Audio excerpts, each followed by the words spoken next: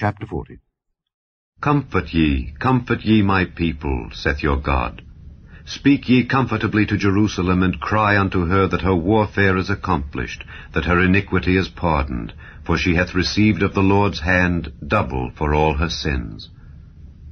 The voice of him that crieth in the wilderness, Prepare ye the way of the Lord, make straight in the desert a highway for our God.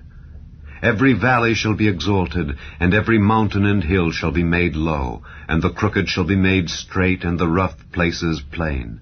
And the glory of the Lord shall be revealed, and all flesh shall see it together, for the mouth of the Lord hath spoken it. The voice said, Cry. And he said, What shall I cry? All flesh is grass, and all the goodliness thereof is as the flower of the field. The grass withereth, the flower fadeth, because the Spirit of the Lord bloweth upon it. Surely the people is grass. The grass withereth, the flower fadeth, but the word of our God shall stand forever. O Zion that bringest good tidings, get thee up into the high mountain.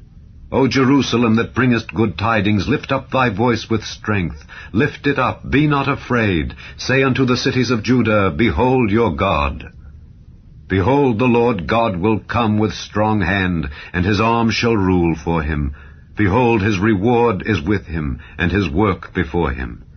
He shall feed his flock like a shepherd. He shall gather the lambs with his arm, and carry them in his bosom, and shall gently lead those that are with young. Who hath measured the waters in the hollow of his hand, and meted out heaven with the span, and comprehended the dust of the earth in a measure, and weighed the mountains in scales, and the hills in a balance? Who hath directed the Spirit of the Lord, or being his counselor hath taught him?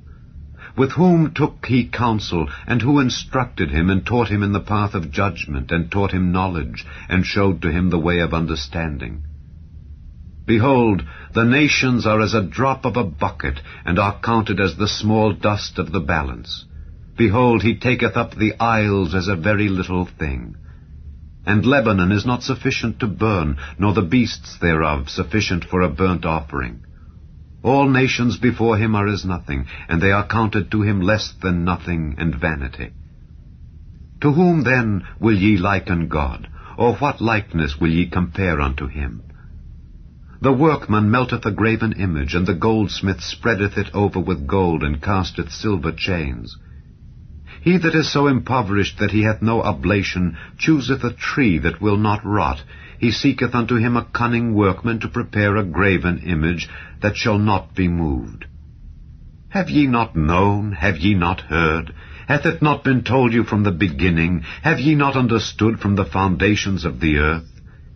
It is he that sitteth upon the circle of the earth, and the inhabitants thereof are as grasshoppers, that stretcheth out the heavens as a curtain, and spreadeth them out as a tent to dwell in, that bringeth the princes to nothing. He maketh the judges of the earth as vanity.